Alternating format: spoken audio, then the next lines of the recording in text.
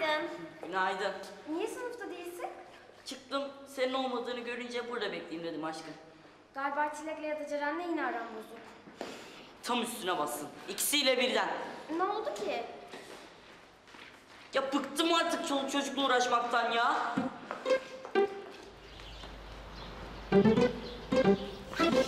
Betüş bak bak bak. Sana bahsettiğim belgeler bunlar.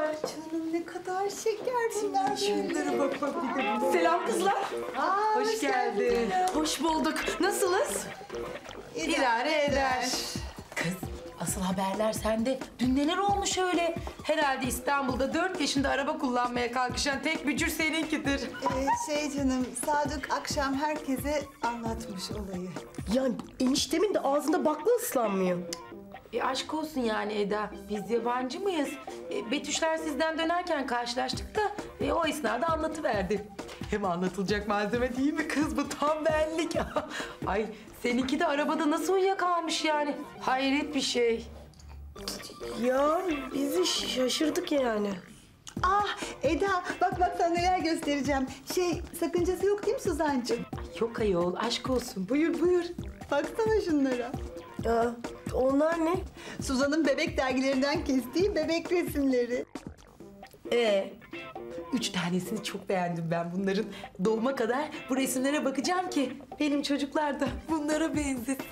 Ya bazı insanlar böyle şeylere inanıyorlar. E, çok enteresan değil mi? Pardon nesi tuhaf geliyor ki anlamadım. Gerçekten insanoğlu bazen enteresan şeylere inanıyor.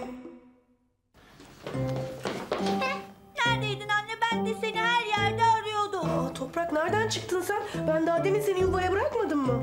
Kaçtı. Nasıl yani?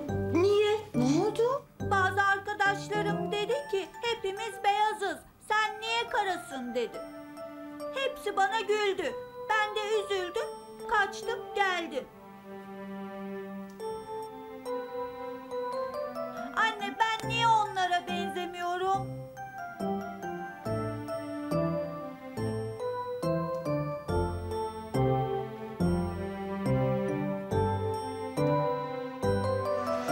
Kanalımıza abone olarak tüm videolardan anında haberdar olabilirsiniz. Pembe rüyalar,